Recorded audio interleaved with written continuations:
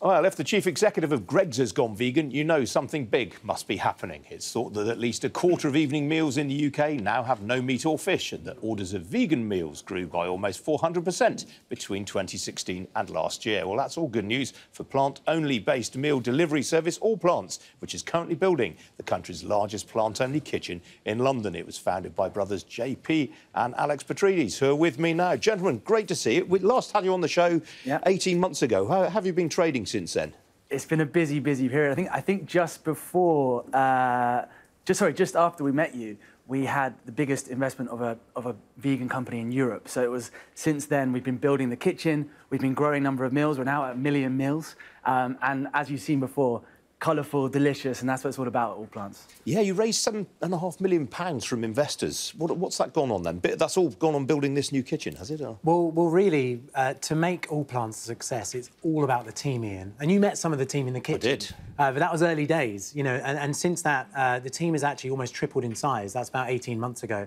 Uh, and that's for us to keep up with both how much food we need to cook, but also how we take our, our journey and, and grow allplants.com to many other people UK wide and, and soon beyond that. So you brought in some venture capital investors as part of that process. I mean, are, are their values completely aligned with yours? They're not going to be sort of saying, right, we want you to sell up any time in the No, no. Right, well, right from the beginning, we decided to become a B Corp, um, which actually means that we're not just purely profit oriented, but we're also about the people and about the planet, and that's really important for our whole mission. Because right now, you know, 57% of the UK are considering switching to a plant-based diet, but it's really important that we hold on to those ethics and those personal touches within our business. Yeah. And actually, the venture venture capital has been so supportive of that, and you know, may it continue as we grow.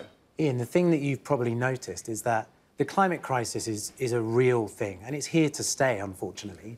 Uh, and what we're seeing more and more that it just makes good business sense to go after this. Climate crisis is the biggest investment opportunity of our generation. So, so we're actually finding that not only do we get a lot of support, but there is real buy-in to the ethos we stand for. You think that's really encouraging people to go vegan then? Yeah, it is. So uh, that 57% of people who are considering switching, the actual, the first biggest reason is health. Obviously, huge health potential for eating a more plant-based diet. But the second one now, compared to years ago, is the environment.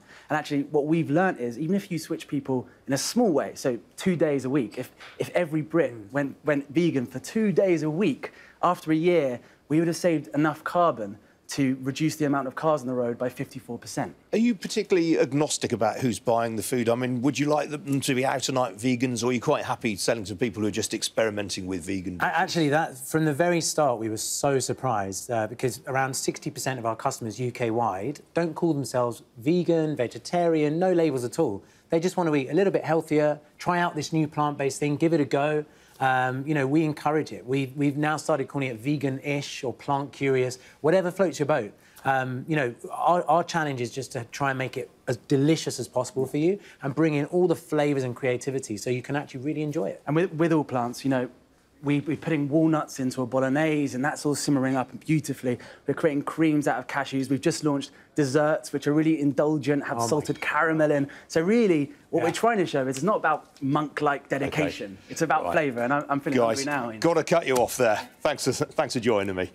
That's it from me. You've been watching Ian King Live. There's video content and analysis on the business pages of the Sky News website. Next up, it's Sarah J. Meesto. Do stay tuned for that. I'm back tomorrow. Hope to see you then. Thanks for watching. Cheerio.